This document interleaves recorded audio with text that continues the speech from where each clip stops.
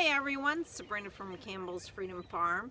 We had record-breaking temperatures, low temperatures, and frost. It's kind of going away now with the sun, but I just wanted to say, if you're worried about your plants, and you should be, I'm going to attach a video I did last year on plant frost damage, how to recover them, how to save them.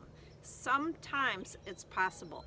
Watch the video and follow those steps. Um, also, I'm waiting for a nursery to contact me back, but tomorrow I'm going to post a summary, a quicker summary on how to do it. Right now, slowly warm up your plants inside. I know that's a pain in the butt, but if you want to save them, sometimes it's worth it. This is Sabrina from Campbell's Freedom Farm. I'm going in for a hot coffee.